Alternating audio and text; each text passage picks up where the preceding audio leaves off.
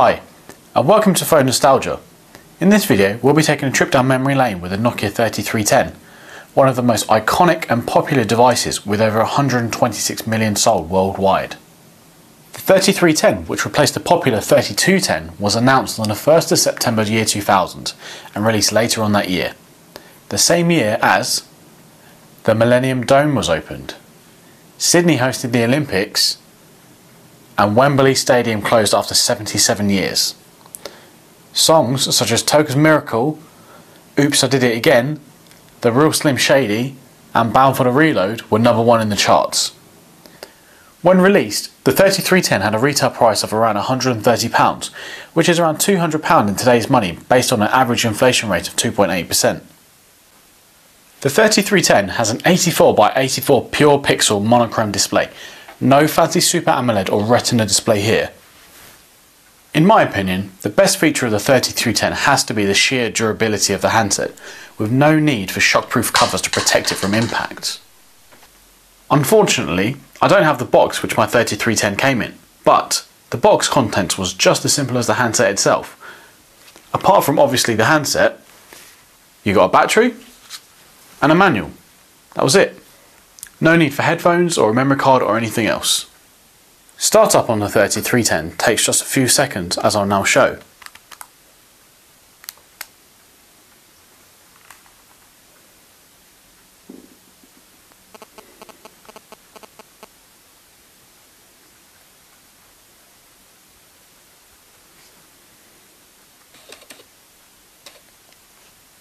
The handset measures 113 by 48 by 22 mm and weighs 133 grams, just less than the D-size battery.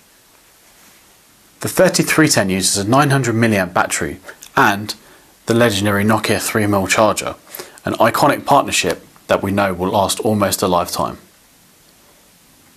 Back in the day, when Nokia was king of the phone world and each manufacturer had their own operating system and didn't rely on Android, iOS or Windows, Nokia had an incredibly simple menu. No widgets or apps, just scroll through the menu and select the option which you want and press select. The handset also had shortcuts like modern phones which could be used to quickly access the contacts in your phone. You know, for when you actually used to make phone calls on your phone. Or to select a profile quickly With no QWERTY keyboard or fancy touchscreen, typing messages was done with multiple presses of the keys. You either loved or hated predictive text back in the day. Who remembers having to cut your text back to 160 characters or less so you didn't get charged for more than one message? And having to spell words like soz, cos,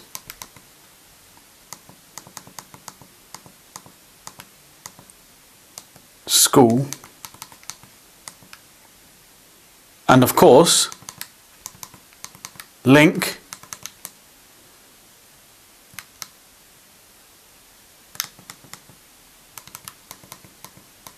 Batteries. Together. Because you were trying to save time.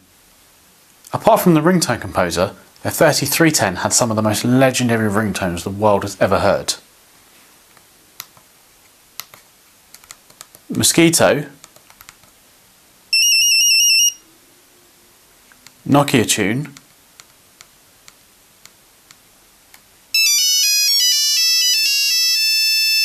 Mozart Symphony number 40,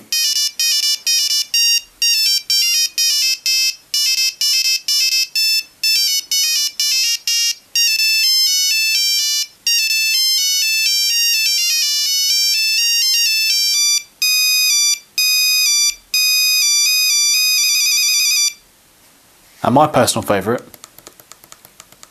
kick.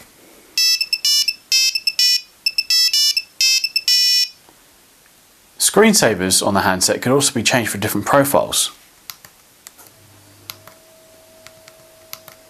For example, I had this one for silent, but there were many others to choose from.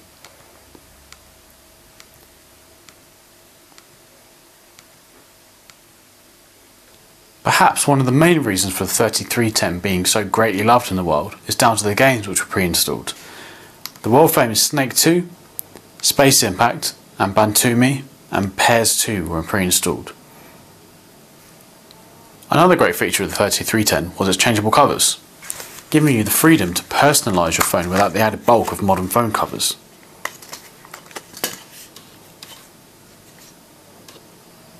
My favourite feature of the 3310 has to be the sheer durability of the handset, something which modern phones just don't offer.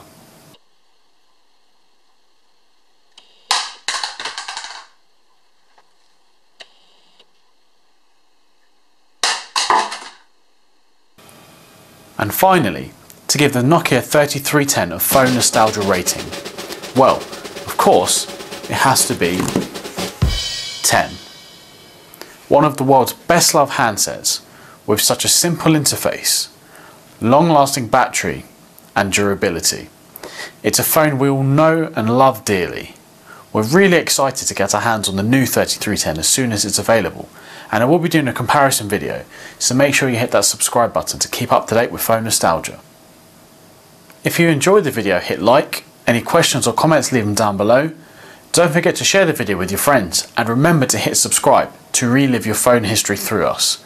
Thanks for watching, until next time.